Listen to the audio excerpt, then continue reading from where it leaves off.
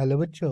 Let's read the question the question says that which of the following compounds is never chiral so will solve this question first of all will see what will be the key concept used in the question the key concept used in the question will be a chiral carbon chiral carbon के पास क्या होता है?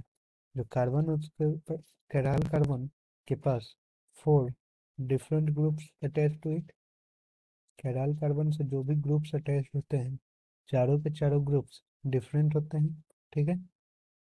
अब हम देखेंगे, जो fourth option है that is one four di bromobutane, one four di bromobutane. इसका अगर हम स्ट्रक्चर बनाएँगे तो वन फोर डाई ब्रोमो मतलब ये C H two B R ठीक है? फिर इधर C H two C H two ये टू बी आर ठीक है इसमें ये वन फोर डाइब्रोमोब्यूटेन है इसमें कभी भी जो भी कार्बन से सबसे दो दो हाइड्रोजन अटैच रहेंगे, ये कभी भी कैडाल नहीं हो सकता है।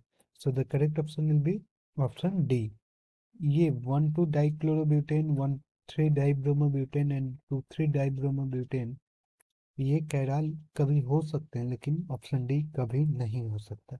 So this will be the final answer. Hope you all understood it well. Best of luck.